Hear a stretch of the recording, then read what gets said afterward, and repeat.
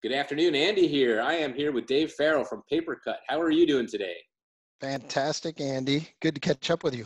Good to catch up. Good to catch up. You are in Portland, Oregon, I believe. Uh, how's how's the how's the uh, Papercut team? How are your people doing? How's your family? What's going on in Portland? And uh, yeah, it's it's crazy. You know, Andy, I, was probably three weeks ago that I talked to you before, right when this all started unbelievable the changes in just three weeks, right? So, but the Portland team's good. Um, you were here with us. You know, we opened a new office in December, and office. yeah, you got a chance to go through. So, in some ways, in terms of distributed working, we were a bit ready. So we did. You know, we happened to be on a fault here in Portland, so we did some earthquake readiness before we moved into the new office. Trial days.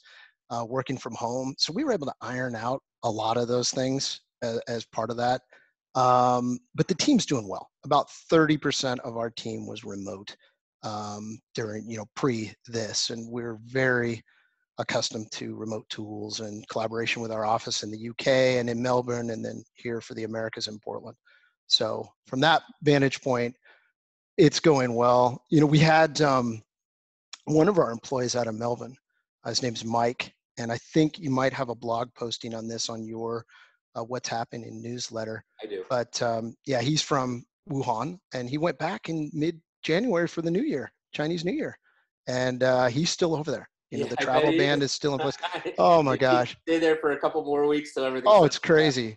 So, but as I look back on it, I think you know Mike gave us some tips and clues about what was likely to happen, which put us in a little better position in terms of probably the most in terms of getting ready for this and and getting things in order well, we were chatting earlier. You're definitely uh, in, in Oregon. You were a little bit um, northwest in, in, in, the country was a little bit ahead of the curve as to far as to where we are right now. Um, but you know, it's it's got to be interesting for you guys managing this because this is flaring up in certain areas now, and it's been in other areas for a bit, and in other areas it's it's kind of already winding down. China, I, am hearing they are getting back to business. Its uh, factories are back open. So, uh, how has it been managing this uh, slow or not so slow evolving virus and and uh, you know you did you mentioned you had everything in place for remote workers because you've got remote workers already. Yeah. Uh, but now you have more of them right? So yeah. No i i think it that's a good question you know as i reflect back on it if you take just the last three weeks when this all started to go it was you know week one was just kind of getting our bearings you know everyone working full on from home and then making sure our people plans were in order um, you know, as I reflect back on it, working remote is a lot different than working remote in this environment. So, a couple of the things that have come up over the last few weeks for our team as we're distributed across the US and globe on our meetings. One, isolation. So, it, it, you, just the impact of being in your office, especially people that are used to going into an office on a regular basis, you can't underestimate the isolation side of things. Um, so we've done some things here. I'll I'll uh, I'll use our technology to the advantage. Um, couple of couple of things we've got here. This is um, I started doing. I got I went stir crazy last week, so I took my my three sons and I have a daughter as well, and we just went out. We took two hours off and we started to do three point contest, ping pong championships. Uh, we played some cornhole. Uh, we did uh, pool, and uh, it was a great two hours just to kind of release uh, a little bit there, which was which was nice. But we also have people all over doing things like um, awesome. happy hour, uh, beer yeah. thirty on Fridays. We do dress up at happy hour. We've got EcoPrintQ's been doing that. Uh, ACDI has been doing that. We'll have crazy hat day. We change outfits. Great idea. All kinds of things to deal with that. Um, probably the biggest surprise I think for our team were the parents that are now dealing with the working from home side of things because your kids are at home. We're a stay at home state, uh, you know, over here in Oregon. And the number, I, I think I underestimated just how hard that's been on the team to try and manage your work. Your spouse is working, and then you've got a child there, some really young, some older, some in the middle. And that's been a challenge for people. I Big think challenge. people. Uh, I think there is a newfound respect for educators in our in our our community now for sure. Oh, no doubt. No doubt. Uh, you will get a kick. We did um, in our last little brekkie, we had two people with birthdays. So we sang them happy birthday. I wish I would have recorded it. It was the worst rendition of the happy birthday song you've ever heard. But it, it was fun. Keep That's spirits awesome. high and keep That's things awesome. light. Well, I've been down to some of your birthdays. I actually got uh, a chance uh, last year, maybe it was the year before, to celebrate a couple of uh, several birthdays all at once in uh, in the Melbourne um, headquarters. So that was uh, I know yeah. you take your birthdays very seriously. we do, and we definitely do. Hey, one other tip for the for the the audience out there, because I've been getting a lot of feedback from people and ways that people are getting through this, and I think part of our community needs to to share these. But in terms of staying fit and mentally fit, uh, we've done a number of things like remote yoga courses. Uh, we have a couple of yoga certified instructors out of Australia.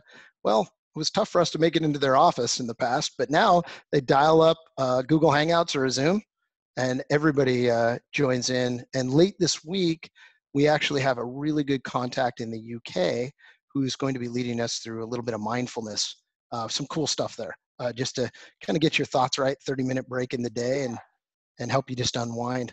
So maybe based on on that um, score sheet between you and your kids, maybe you can get a, a cornhole coach because you look like you came in last in every single one of those. Yeah, it hurts. It really does hurt. it's it all good. Things for a second, right? It's all um, good. Funny you said that about happy hour. So for all of you watching, I am. We are having an industry analyst uh, sponsored happy hour in uh, Zoom format on Friday this week on the on the second, actually the third of April, four o'clock EST. You can uh, email me and I'll send you some information. Hopefully, we'll see you there, Dave. Uh, back to the yeah, to the PaperCut story. Uh, what is what are you guys doing for your dealers? I know um, you know I've heard uh, a lot of companies extending terms or anything special. Uh, you know these guys are are fighting to keep their doors open while fighting to keep uh, their customers up and running, especially some of the more critical ones like healthcare. What are you doing to help these guys? Yeah, well, number one, stay close to the ground on what they're seeing. So we're kind of taking our guiding light from what the resellers are saying. Um, RASCs, you know, EcoPrintQ, ACDI in particular in the US, they've been fantastic through this. So we're on calls. I was just on a call with both of them uh, about an hour ago. A couple of things that we're doing, um, you know, EcoPrintQ is doing four hours free professional services remotely just to help people through this. They're just saying, forget it. it it's let, us help you out. Um, ACDI is doing a number of webinars. They've taken a lot of content and they're just they're really trying to still be present wherever the need is, but doing it through webinars and and using the tools there.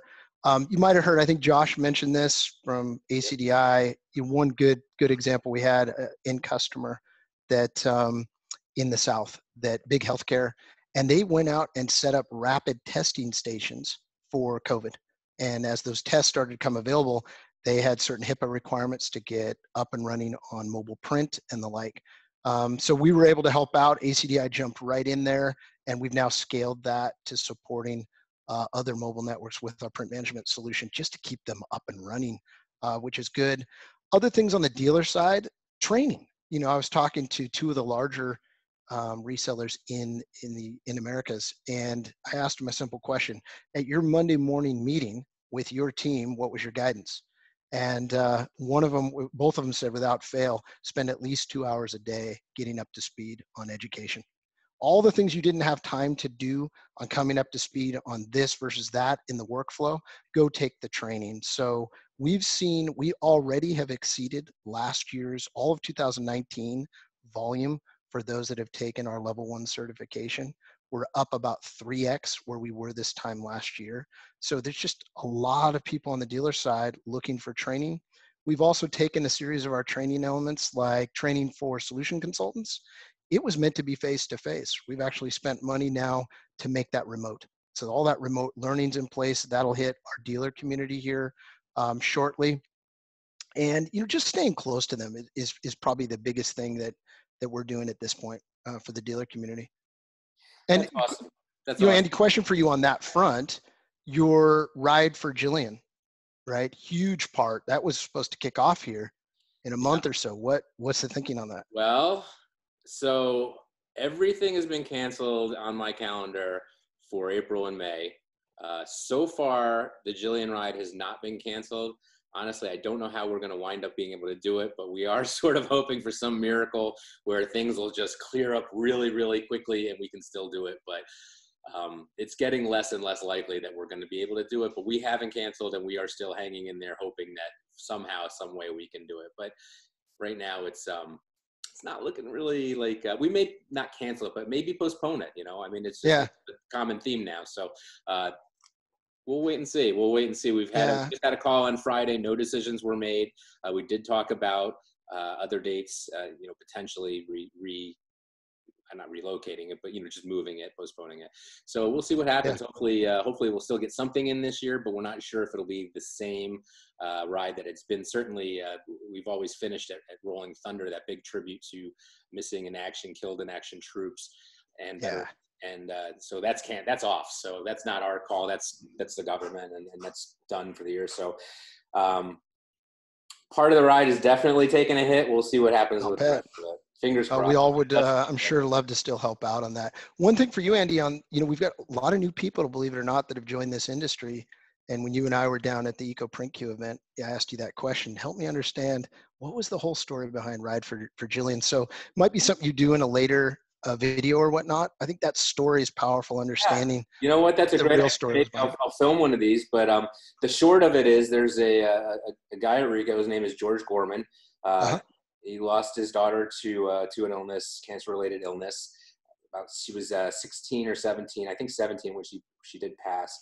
And while sitting with her day in day out throughout the um, you know the final weeks and months of of her treatments, uh, he looked around. They looked around and saw you know all these kids sitting there alone with no parents, no one to help them, uh, no one to be with them. And it was because you know the parents have other kids at home, they have jobs, they they you know have to keep the lights on, pay the mortgage. So what George did was he started this uh, charity in her name, Jillian, to uh, to basically keep the lights on to cover people's bills when they can't afford to so that instead of being at work they're able to be with their kid where they should be especially when you know a lot of these kids are terminal so uh, yeah. actually these days right now with what's going on and with so many people being out of work uh, i believe this charity is going to be more important than ever and you know they've literally helped keep the lights on for hundreds hundreds of people. We've raised uh, hundreds of thousands of dollars for this, and, and um, we are only a, a part of, of the Jillian Fund. The Jillian Fund is, is not affiliated with uh, our, my crew, the Patriots Pack, which is just a bunch of business bikers uh, right. led by Mike Stramaglio from, uh, from all covered. Uh, yeah. But you know, just it's a it's a great charity, and, and, we're very proud to be part of it. So they do have their gala schedule for the end of the year, and hopefully we'll see you all there. You guys, that's good. Big, Let's find a way to keep it going. I mean, yeah. regardless if it's virtual, it's virtual. We'll do what we have to do. That's a yeah. it's a great foundation. So this has been awesome. Um, I'm going to check in with you in a couple weeks uh, two, three weeks, maybe a month, and we'll see how, how people are faring. I, am hoping the next interview, maybe you'll be back at your office, maybe you won't. Um, we don't know. You know, yeah, tough take one. it one day at a time, right? And uh, anything last thing you'd like to say out there to the imaging industry, to all your friends out there? No, I, I I think maybe this is a, a wake up call. I mean, this is horrible, right? But you know, like most view this how do we come out stronger? And i think you know you doing more things like this we have to find new ways for all of us to stay connected and collaborate share best ideas. Um, for us you know i think a challenge to the team think about those values that you had going into this and which ones do you want to bold print as you get through this? For us we have something called chin caring honest intelligent and nimble. And we're putting a little more emphasis on the c as of late to help our teams get through this work with our partners um, but just don't lose sight of that. The other thing is just on the best practice sharing, a, a part of the contingency plans we've put in place, uh, how to help our teams, all that's coming from dialogue with people in this industry and those outside the industry. So in particular, if anyone wants me, uh, Dave Farrell on LinkedIn, shoot me a quick message, and then let's let's we'll share with you plans we had on communications, how we're doing rollout. I'd love to get feedback back from you guys on that as well and keep doing these, Andy. I think it's, it's really important. And for any of you guys watching, if you can't, um, if you're having a hard time finding Dave's information, you can always email me and I'll forward, uh, I'll forward an, intro, an introduction. Sorry about that. My mouth's getting a little tied up. Love it. um, thanks so much for spending some time. I know you got a lot going on out there, and uh, you know it's it's end of the day for me, but you're still right in the middle of it. So uh, keep okay. doing what you're doing. I love the the triage stories, and you guys are just awesome. I'm sure, uh, hopefully, stories like that here will maybe uh, pique some some interest and, and creativity in, in Europe and Asia and in Australia, some of the other markets. Uh, you know, we can all learn from each other. We can all help each other through this, and uh, you know, we will get through it. And, and, thanks again, and, and we'll talk soon. All right. Yeah, I look forward to catching up again soon. Thanks a lot, Andy. Take care, Dave. Take Bye-bye. care.